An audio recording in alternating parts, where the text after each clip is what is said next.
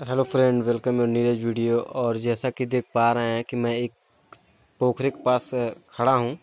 यानी कि एक छोटा सा बाउंड्री है और मैं वो खड़ा हूँ। और मैं काफ़ी दिनों से कछुआ कुछ नहीं खा रहा था तो मैंने कछुए को पानी में छोड़ रखा है।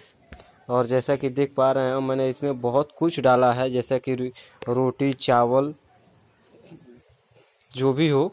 यानी कि फ्रेश आइटम मैंने डाल रखा है। और मैं इन सब चीज़ों को, इन कछुओं को दे रहा हूँ और बहुत सारी मछलियाँ हैं और जो कि बहुत सारे कछुए हैं।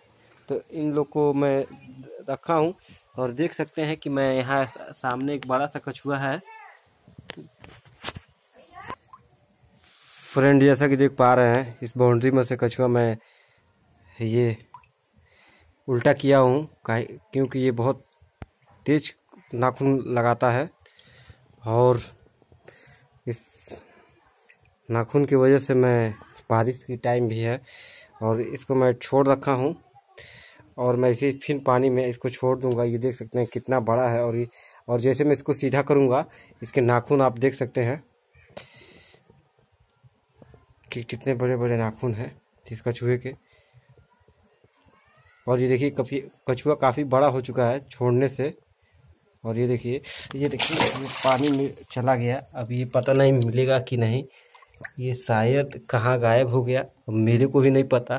शायद इधर गायब हो गया। तो चलिए, मेरा वीडियो अच्छा लगा तो चैनल को सब्सक्राइब कीजिएगा और वीडियो को लाइक कीजिएगा।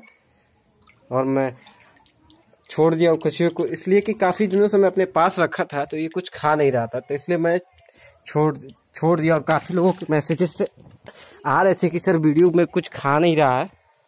तो मैंने कि जो कि इसको यहीं में छोड़ दिया। अगर आपके पास भी कछुआ है, अगर नहीं कुछ खा रहा है तो उसको किसी मंदिर में या धार्मिक स्थल में वहाँ पानी होगा या गड्ढा होगा, आप उसमें छोड़ सकते हैं, ताकि वो खाता रहे कुछ पीता रहे, ताकि बड़ा हो जाए। तो थैंक यू सो मच मेरा वीडियो देखने के लिए।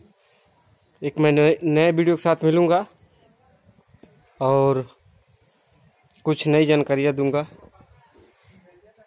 तो चलिए friend thank you so much